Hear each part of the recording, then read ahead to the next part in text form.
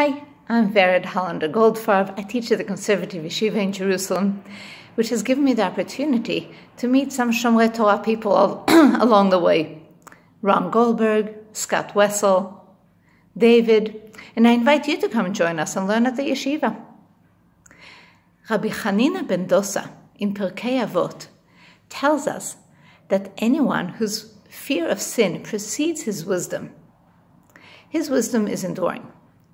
But anyone whose wisdom precedes his fear of sin, his wisdom is not enduring. We come from a long tradition that values learning. Tremendous value just for the sake of learning, lishma, for the sake of learning. Nonetheless, Rabbi Hanina tells us all that learning could be worthless if we don't have boundaries, if we don't have moral guidelines that inform our learning. In other words, we can learn anything. People have. Okay? People have convinced themselves that the most awful ideas in the world are legitimate.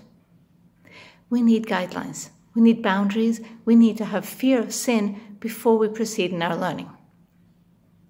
But he also tells us that after we learn, anyone whose deeds exceed his wisdom, his wisdom is enduring. But anyone whose wisdom exceeds his deeds, his wisdom is not enduring. What are we doing with all that learning? Is it purely an intellectual pursuit? It has not affected us. It has not informed who we are and how we behave in this world and what we're doing for this world. That wisdom is not enduring. We're not leaving anything behind.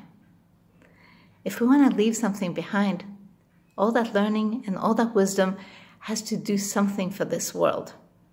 So anyone who takes all that wonderful learning and lets it affect him or her and let it inform how they live their life and the deeds that they leave behind. Because in the end of the day, it's our actions that speak.